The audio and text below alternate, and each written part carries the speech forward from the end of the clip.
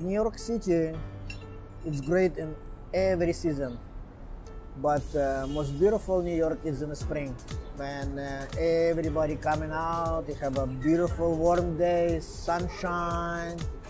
You have a cold beer, looking out how people are making uh, traffic jam and looking how people are trying to get where they want to go. And it's always bring me uh, the idea how you can paint the painting about like New York and uh, to be something.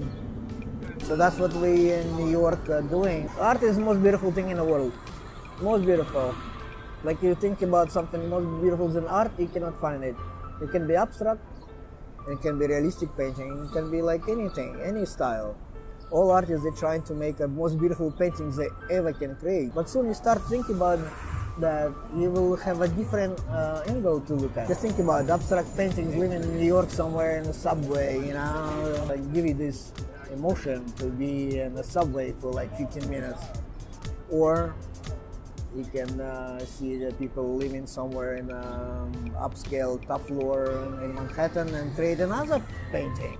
But you put them together in one show, like a museum. That's what makes uh, art so special. So you basically collecting emotions of the humans.